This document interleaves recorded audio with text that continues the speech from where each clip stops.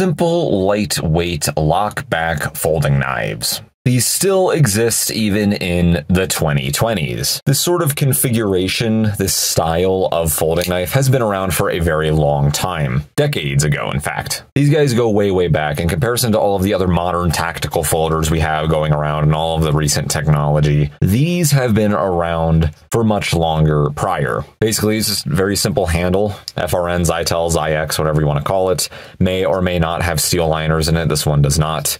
Lockback mechanism, a pocket clip of sorts, a blade. That's it.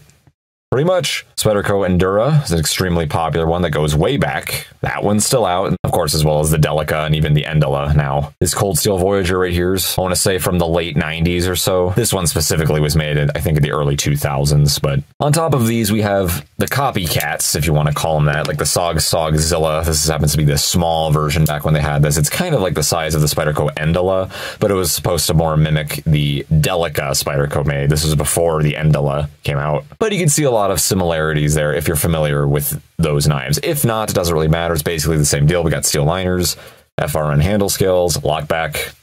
That's about it. Not a whole lot else going on here. Simple, generally lightweight, pretty long, slim. A lot of these are very slim typically too. Slim. Very slim profile. This is probably the slimmest one right here. And the latest one I have, the Kershaw Hatch. Same deal. FRN handle scales, steel liners. You guessed it, lockback.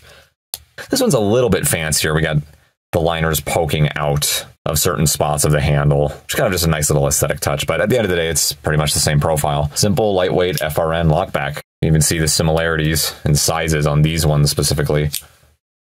Now, for the longest time, lockbacks went head to head with liner locks. Liner locks also go way back as well. The lockback certainly is an older design, much older design than the liner lock, but when these modern style tactical folders started coming out, and started gaining popularity. Again, I want to say roughly around the 80s and then more so in the 90s with the pocket clips. And they started utilizing more modern materials rather than, you know, brass, wood, bones, etc. We started using polymers and synthetics. It was always lockbacks going head to head with liner locks. Liner locks were faster and a little bit more convenient, but they weren't as strong and as simple and as ambidextrous as the lockbacks were. So it was either strength or speed. That's basically what most people argued for the longest time.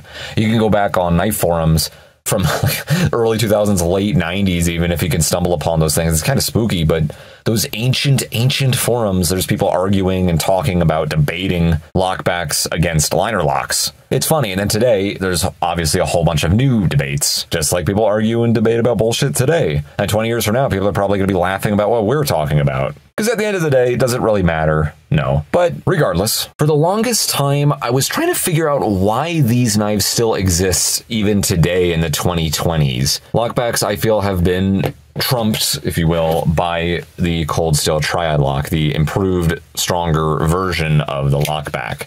I honestly just think these are objectively better locking mechanisms. Pretty much the same thing, although it goes a little bit deeper into the blade, and then we have a stop pin, which makes it way, way stronger. It's so simple too. It's definitely not even going to be that much more expensive to produce a triad lock in comparison to a lockback mechanism. Big issue I have with lockbacks, even modern ones, it doesn't matter when it was made, they all suffer the same issue of that locking mechanism absorbing both the positive and negative force going on the blade because we don't have a separate stop pin. It's taking in all of it. So they tend to wear pretty quickly. In fact, a lot of them have lock rock blade play. This one does out of the box. A lot of lockbacks I have just have blade play. There's another. These old style Voyagers don't have as much, but still a little bit of wiggle in there, despite it not being too bad. That's just how lockbacks are designed. They have to have a little bit of room to work properly. They don't wear very well. They're stronger than liner locks, sure, but they are a bit stiff. They are a bit slow. You can certainly still flick them out. They can still deploy fast, don't get me wrong, but I'm talking objectively comparison to pretty much every other locking mechanism, especially modern locking mechanisms we have today. Lockbacks, I just don't think hold up as much. They're just not as strong. They're not as fast. They don't wear well still. I still like them. You know, I don't mind a lockback back once in a while. It, they're classic. They're simple. You know, they mimic the really, really, really older fashion knives, like modernized versions of those. I, yeah, I, I like the lockbacks. I dig them for novelty. I like how they're simple. But if I'm seriously suggesting a lockback, it's just going to be a cold steel triad lock. This knife's pretty similar profile to all these guys right here, especially this one. Again, simple, just Zy-Ex handle scales. It's like improved FRN, sort of. Simple. In this configuration, I'll take the lockback style folder because it's a triad lock. Then I'll take that speed issue. It's just so much more damn strong. And now I, I can forgive it for having the other issues.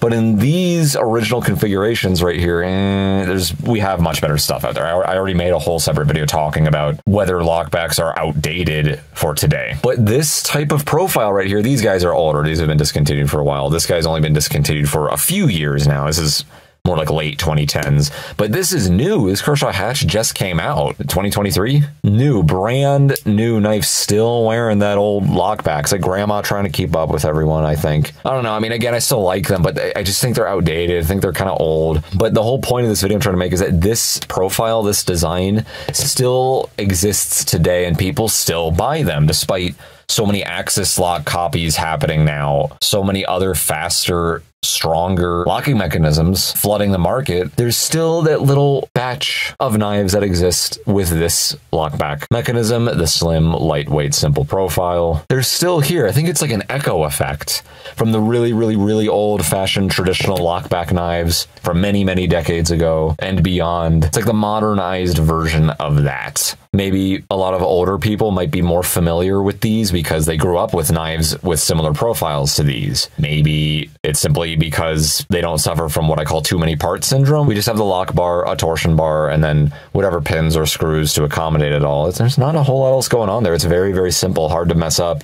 It's kind of like a revolver. Very simple design, difficult to dig it up. It, it just, it, it works more or less. Again, personally, I think these are kind of still lagging behind in comparison to everything we're coming out with now especially the Axis style locks. Those are going everywhere now. They're also ambidextrous, they're faster, they're stronger. They do have a little bit more parts in there. I guess technically there's more things that could go wrong with those, but yeah, there's Ozark trail knives being sold at Walmart for five bucks with those things. I mean, if you want to argue that they're more expensive than lockbacks, I kind of doubt that. But what do you think of these lockback slim lightweight folders. Do you think we should be done with them?